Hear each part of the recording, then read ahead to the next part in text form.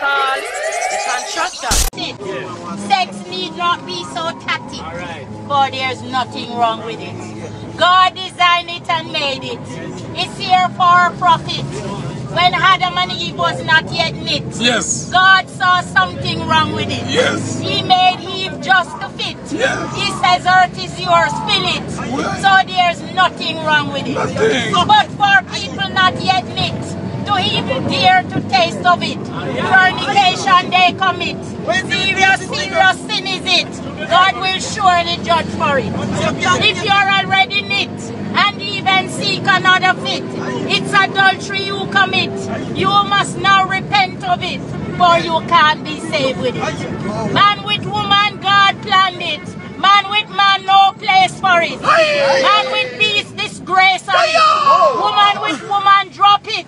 God forgives if you stop it. Husband and wife, that's it. Father, daughter, not a bit. Brother, sister, none of it. Children could be born and fit. And your name in shame by it. God wants us to enjoy it. But such he did prohibit. Nor AIDS and others like it. So stay within the limits and never you'll regret it. Don't neglect your wife a bit. Don't deny your husband it. Unless he or she permits.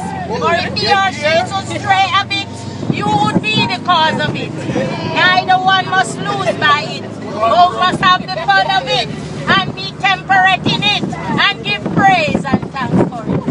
As we learn in Holy Writ, in heaven there be none of it. Is a fact, I must admit. But why should we fret on it? When we read in Holy Writ that heaven will be better than it. Man!